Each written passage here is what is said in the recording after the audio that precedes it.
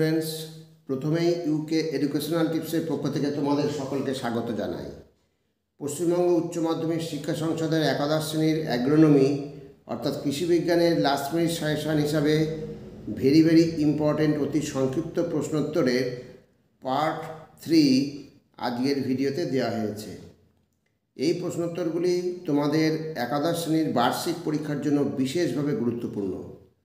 তাই ভিডিওটির প্রথম থেকে শেষ পর্যন্ত প্রতিটি প্রশ্নোত্তর তোমরা অতি গুরুত্ব গুরুত্ব সহকারে লক্ষ্য করবে এবং তৈরি করে নেবে।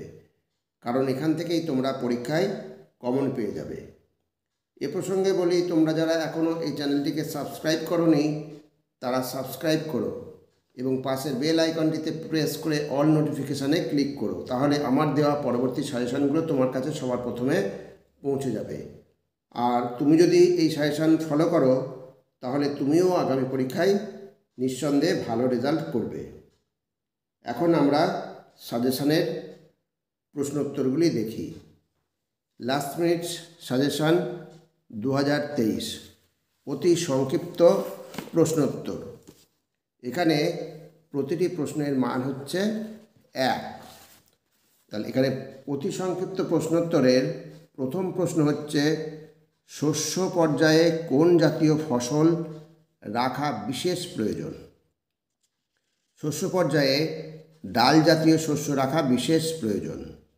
নেক্সট, মিশ্র ফসল চাষে সর্ষের সঙ্গে চাষের উপযোগী ফসলটি লেখো। মিশ্র ফসল চাষে সর্ষের সঙ্গে চাষের উপযোগী ফসলটি হলো আলু। নেক্সট, অন্তর্বর্তী ফসল চাষে প্রধান ফসল আলুর সঙ্গে সাথী ফসল হিসাবে চাষের উপযোগী ফসলটি লেখো। তাহলে দেখো, অন্তর্বর্তী ফসল চাষে প্রধান ফসল আলুর সঙ্গে স্থায়ী ফসল হিসাবে চাষের উপযোগী ফসলটি হলো সর্ষে। নেক্সট, রিলে রিলে শস্য, অর্থাৎ রিলে ক্রপিং। রিলে শস্য চাষের একটি যথাযথ উদাহরণ দাও। রিলে শস্য চাষ পদ্ধতির যথাযথ উদাহরণ হলো মুগ ভুট্টা, সর্ষে, গম। নেক্সট যে খামার ব্যবস্থা কেবলমাত্র চাষিদের ভরণ পোষণের উপযোগী, তাকে কি বলে? যে খামার ব্যবস্থা কেবলমাত্র চাষিদের ভরণ পোষণের উপযোগী, তাকে জীবিকা নির্বাহী খামার বলে। নেক্সট একটি দ্বিফসলি চাষের জমির শস্যের নিবিড়তা কত? একটি দ্বিফসলি চাষের শস্যের জমির জমির শস্যের নিবিড়তা দুশো শতাংশ। নেক্সট একটি এক ফসলি শস্যের চাষে শস্যের নিবিড়তা কত? একটি এক ফসলি শস্যের চাষে শস্যের নিবিড়তা একশো শতাংশ। নেক্সট আট নম্বর। অন্তঃফসলি চাষে মুখ্য ফসল আলুর সাথী ফসলের নাম লেখো। তাহলে দেখো আন্তঃফসলি চাষে মুখ্য ফসল আলুর সাথী ফসল হলো বাঁধাকপি। নেক্সট নেক্সট প্রশ্ন হচ্ছে, আলুতে জলসেচের সব থেকে সংকটময় দশাটি লেখো। তাহলে আলুতে জলসেচের সব থেকে সংকটময় দশাটি হলো অঙ্গজ বৃদ্ধি দশা। এবার দশ নম্বর। দশ নম্বর হচ্ছে, নালায় জলসেচ অর্থাৎ ফারো ইরিগেশন নালায় জলসেচ পদ, জলসেচ প্রধানত কোন ফসলে করা হয়? নালায় জলসেচ প্রধানত আলু চাষে করা হয়। নেক্সট প্লাবন প্লাবন পদ্ধতিতে সচরাচর কোন ফসলে চাষ সেচ দেওয়া হয়? প্লাবন পদ্ধতিতে সচরাচর আমন ধান চাষে সেচ দেওয়া হয়। এবার বারো নম্বর দেখো, একটি অর্থকরী তন্তু জাতীয় ফসলের নাম লেখো।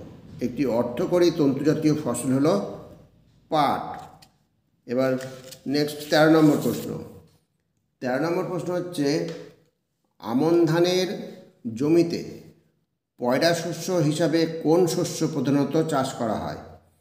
আমন ধানের জমিতে পয়রা শস্য হিসাবে ডাল শস্য প্রধানত চাষ করা হয়। নেক্সট একটি গোখাদ্য ফসলের নাম লেখো। একটি গোখাদ্য ফসল হলো বার্সিং এবার পরবর্তী প্রশ্ন দেখো, পনেরো নম্বর। আলুর একটি জলদি জাতের নাম লেখো। আলুর একটি জলদি জাত হলো কুফরি চন্দ্রমুখী। নেক্সট, জিরোকর্ষণ কাকে বলে? কম যন্ত্রপাতির সাহায্যে জমিতে বীজ বোনার উপযোগী মাটি তৈরি করার জন্য কম সংখ্যক কর্ষণ করা হয়। একে জিরোকর্ষণ বলে। নেক্সট কোন মাটিতে লোহা ও অ্যালুমিনিয়াম ঘটিত লবণ বেশি পরিমাণে থাকে? লাল মাটিতে লোহা ও অ্যালুমিনিয়াম ঘটিত লবণ বেশি পরিমাণে থাকে। নেক্সট আঠারো নম্বর। উত্তর পূর্ব মৌসুমি বায়ু দ্বারা কোন সময় বৃষ্টিপাত হয়? শীতকালে উত্তর পূর্ব মৌসুমি বায়ু দ্বারা বৃষ্টিপাত হয়। নেক্সট দুটি তন্তুজ ফসলের নাম লেখো। দুটি তন্তুজ ফসল হলো পাট ও শন। এবার পরবর্তী প্রশ্ন দেখো, বায়ুর আপেক্ষিক আর্দ্রতা মাপক যন্ত্রের নাম লেখো। বায়ুর আপেক্ষিক আর্দ্রতা মাপক যন্ত্র হলো হাইগ্রোমিটার। নেক্সট, আলোক সময়কাল নীতি কাকে বলে? শস্যের বৃদ্ধির ওপর আলোক স্থিতিকালের প্রভাব নীতিকে আলোক সময়কাল নীতি বলে। নেক্সট আলোক সময়কাল নীতির পর হচ্ছে আবহাওয়ার কতগুলি উপাদানের নাম লেখো। আবহাওয়ার উপাদানগুলি হলো বৃষ্টিপাত, তাপমাত্রা, বায়ুপ্রবাহ, সূর্যালোক, আর্দ্রতা, প্রভৃতি।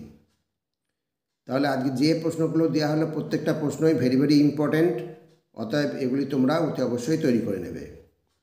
আর এর সাথে ভিডিওটি যদি ভালো লাগে, তাহলে অবশ্যই সাবস্ক্রাইব করবে। এর সাথে একটা লাইক দিতে যেন ভুলো না এবং তোমার ফ্রেন্ডসদের মধ্যে ভিডিওটি শেয়ার করো। তাহলে আজকে এখানেই শেষ করি।